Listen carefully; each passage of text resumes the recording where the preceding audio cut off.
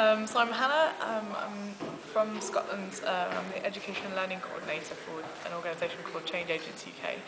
Um, and my green dream, I guess, is that um, people make an effort from a kind of early age, both sort of through their education and beyond, to actually really support each other um, in gaining a kind of sense of, of greater kind of well-being, both on a kind of internal and external level. So one that's that's really kind of shared and, and communal.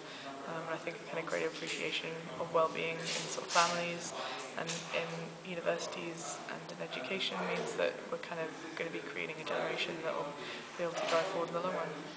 Green Dream.